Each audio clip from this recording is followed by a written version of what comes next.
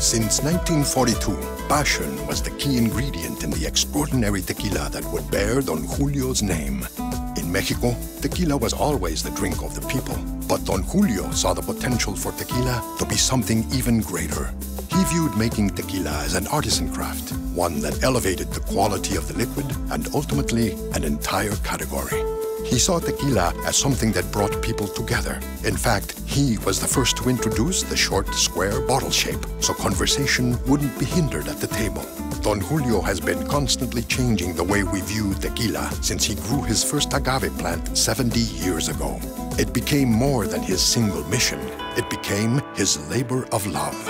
And he's not stopping now.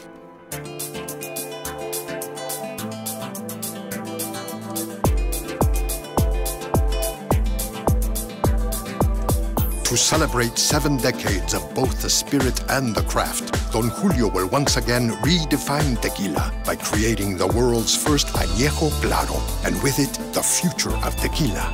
The process begins by selecting the finest aged agave plants, which are then hand harvested and double distilled at La Primavera. The tequila is aged to perfection in American white oak barrels for 18 months, then carefully filtered to a pure silver color for an extremely original profile that is soft, smooth, and elegant.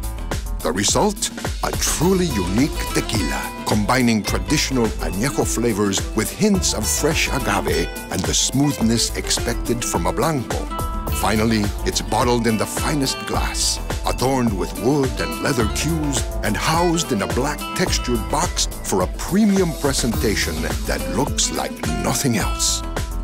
After 70 years of redefining tequila, Don Julio 70 is the culmination of his journey. His gift is now our gift, and one that's truly worth celebrating.